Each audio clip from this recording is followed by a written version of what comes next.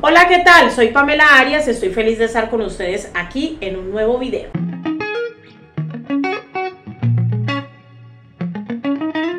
Hoy estaremos hablando de un exjugador de fútbol, pasó por la selección colombiana, América de Cali, Santa Fe y muchos más. Pero antes, suscríbete y dale like a este video.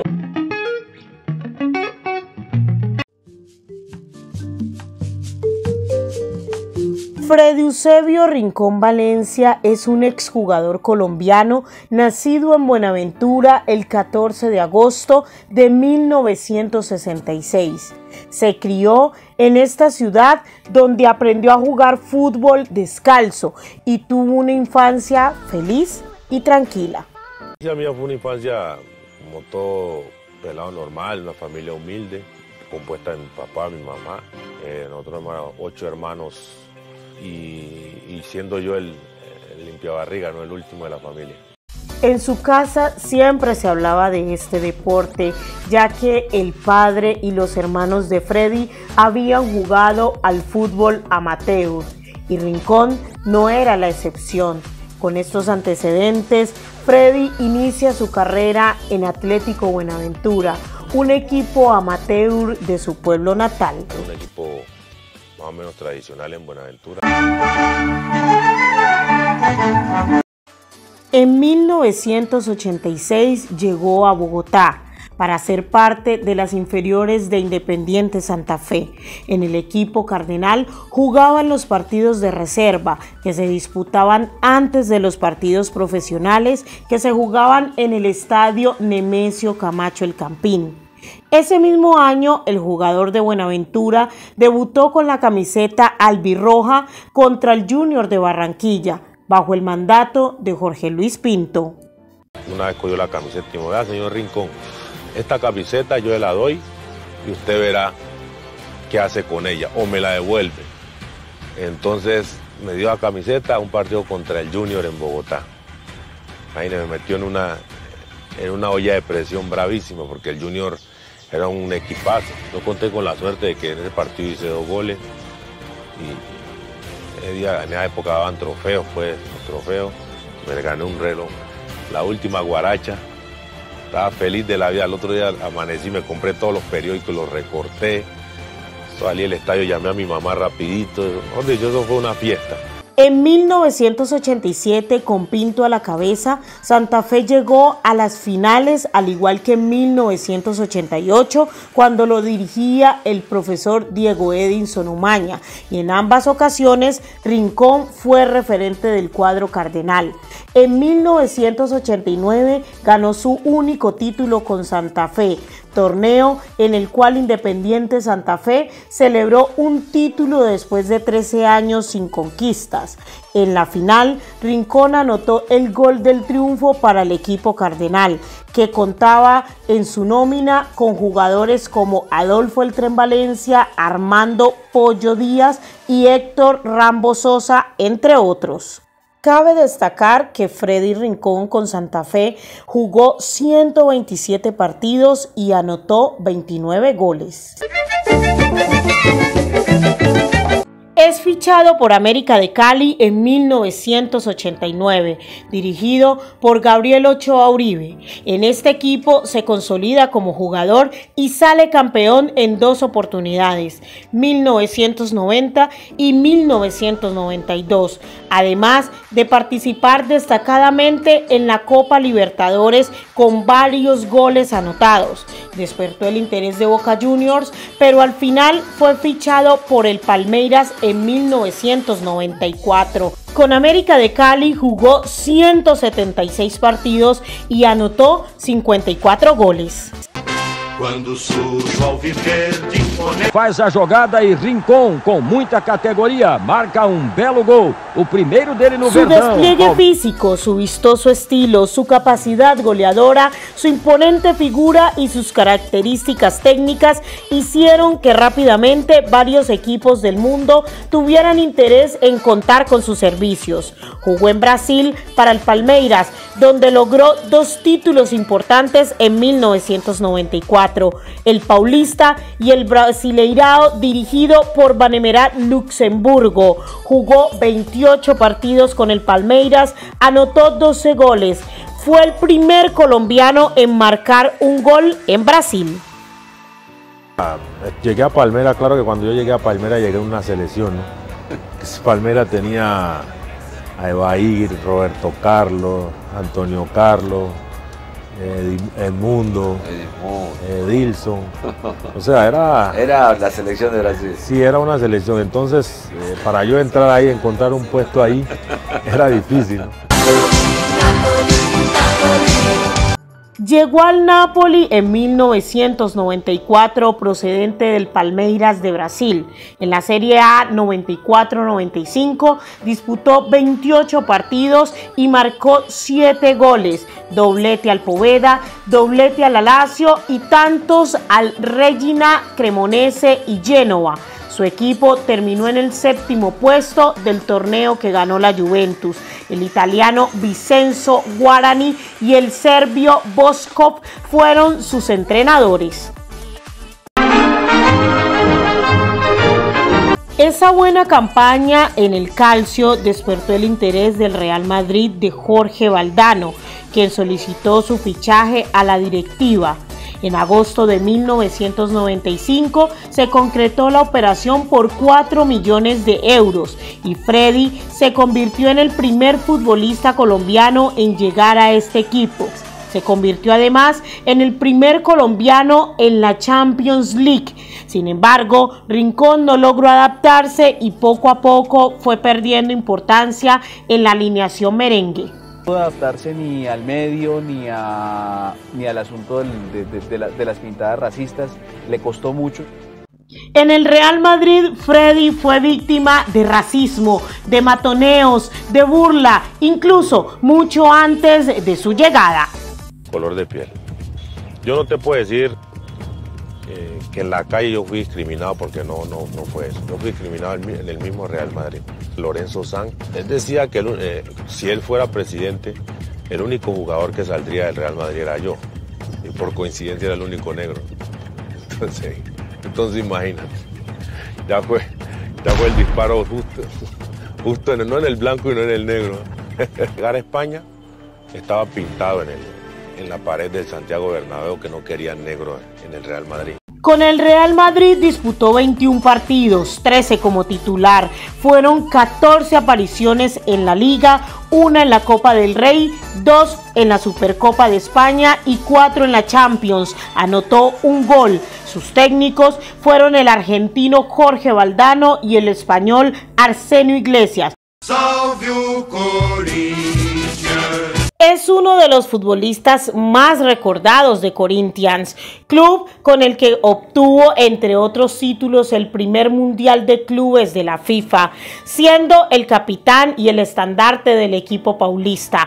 Por ello, en el año 2011, como homenaje, fue incluido en el Salón de la Fama de ese gran equipo de Brasil. Rincón consiguió en su carrera más de 120 goles, contando los 17 conseguidos con la selección Colombia. marcó una época en el fútbol colombiano. Hizo parte de aquella generación dorada que clasificó a tres mundiales consecutivos, 1990, 94, 98, al lado de Carlos Valderrama, Leonel Álvarez, Andrés Escobar, El Chonto Herrera, entre otros. Su tercer mundial consecutivo no fue en el mejor momento, tanto para él como para sus compañeros. Luego del fracaso que supuso el Mundial de Francia 98, daría un paso al costado de la selección Colombia, pero volvería a ser llamado entre 1999 y 2001 jugando algunos partidos de eliminatoria para el Mundial de Corea y Japón 2002, siendo su último encuentro oficial con la selección Colombia una derrota frente a la Argentina el 3 de junio del 2001 en Buenos Aires. El gol más recordado con la selección Colombia fue el empate frente a Alemania, que le valió la clasificación a los octavos de final del Mundial del 90. Feller, que se queda con la pelota la marca de está subiendo también Leonel Álvarez se queda con la pelota Leonel, Leonel por el esférico, tres cuartos de campo, arranca con todo el bendito, el bendito Fajardo, 47 minutos, dos de adición, el bendito Fajardo, entregando para el pie, alterrama el pie por la pelota, atención, pica la pelota, arranca con balón dominado, entregando sobre la izquierda, muy bien para Rincón, Rincón con el bendito, entregando para el pibe, muy bien, viene Colombia, Dios mío, Colombia,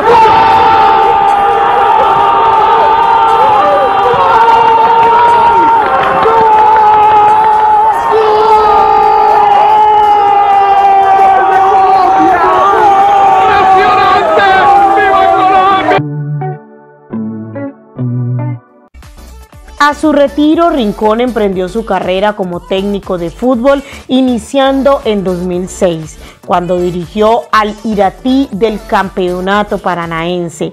Pasó luego por Sao Bento y San José en 2007 y 2009. Para el 2009 volvió al Corinthians para ser entrenador de las categorías bases principalmente del equipo de la B. En la temporada 2010 trabaja con su amigo Luxemburgo en Atlético Mineiro como auxiliar técnico. La temporada siguiente toma las riendas de Flamengo. En el 2012, la nueva administración de América de Cali lo nombra presidente de la nueva Divisiones Inferiores Escarlatas, aunque su papel estaría más ligado al proceso formativo de las categorías bases. Fue asistente técnico de Millonarios Fútbol Club durante la dirección técnica de Jorge Luis Pinto en 2019. Desde marzo de 2007 se encontró en situación de búsqueda y captura por la Interpol y la Fiscalía de Panamá, acusado de testaferrato y nexos con el narcotráfico.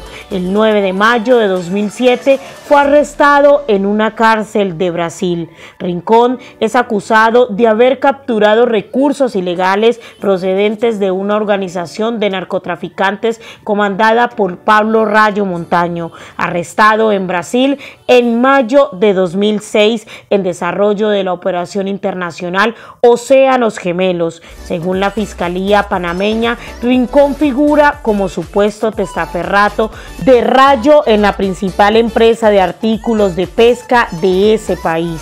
Uno a veces es víctima del sistema, ¿no? Eh, a, mí, a mí me colocan en una situación de esa porque hay gente más arriba que, que necesita salirse de eso.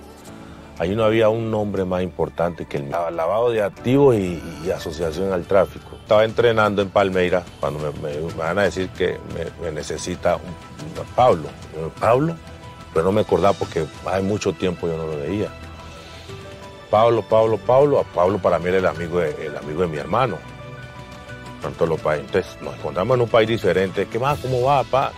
Compartimos un poco y esas cosas. Entonces medio de compartir en el el, andamiento del tiempo que él estaba allá, lo que yo, quería, eh, ya me quería retirar y que quería invertir en alguna cosa. Ahí él me dijo, hay una empresa tal que esa empresa necesita de, aplicar un dinero y que, le pueden prestar un dinero a un porcentaje. Me fui, investigué, pregunté con, los, eh, los rivales de esa empresa, o sea, la misma empresa y todo. Siempre me hablaron a mí que eran personas idóneas, que eran personas entonces eso me convenció a hacer el préstamo. El, juicio pasó, terminó hace como un mes creo, y falta esperar que, el juez defina, define el resto, pero pues siempre, como le digo, con la, con la misma conciencia tranquila. En la madrugada del 11 de abril hacia las 4 y 30, el vehículo en el que se movilizaba Rincón chocó contra un autobús del sistema de transporte masivo integrado mío. En un video de una cámara de seguridad en un edificio aledaño se ve en la intersección de la calle Quinta con carrera 34 de Cali los automotores chocan. Arrastrando una cuadra más adelante, el vehículo particular en el que se movilizaba el exfutbolista junto a otras tres personas. Después de tres días en cuidados intensivos, en la madrugada del jueves 14 de abril del 2022, La clínica informó la muerte de Freddy Rincón. La clínica Imbanaco, Grupo Quirón Salud. En presencia de sus familiares y con su plena autorización, se permite informar que pese a todos los esfuerzos de nuestros equipos de trabajo, Freddy Eusebio Rincón Valencia ha fallecido. El cuerpo del ex seleccionado cafetero fue trasladado a su natal Buenaventura, ciudad portuaria de Colombia, en la cual recibió un multitudinario homenaje por parte de los seguidores y habitantes de la zona. Luego el féretro arribó a Cali en medio de una caravana de hinchas con camisas amarillas y banderas, junto con fotografías de los buenos tiempos de la selección Colombia, en la que el coloso militó junto al pibe Valderrama. La mañana del sábado se efectuó un homenaje a Freddy Rincón en el Estadio Olímpico Pascual Guerrero, ceremonia que encabezó su hijo, el también futbolista Sebastián Sebastián Rincón. Yo vengo a hablar de Freddy, el padre, el ser humano.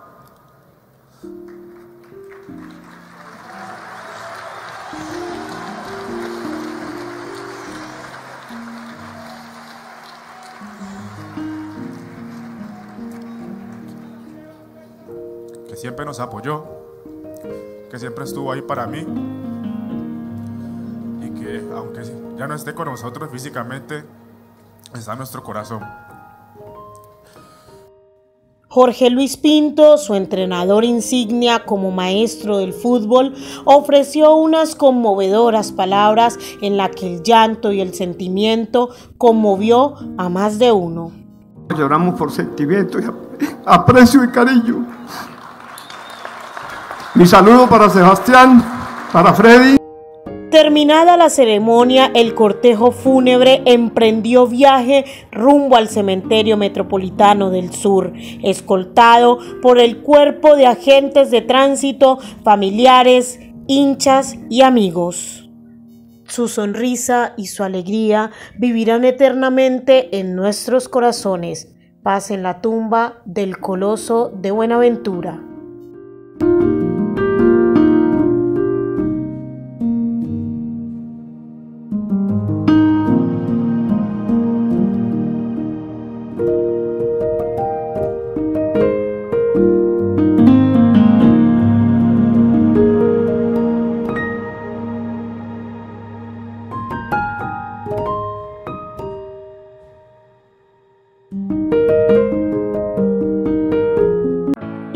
Hemos llegado a la parte final de este video, hoy en un gran homenaje a Freddy Eusebio Rincón Valencia. Si te gustó este video, suscríbete y dale like. Nos vemos en una nueva ocasión. Chao, chao.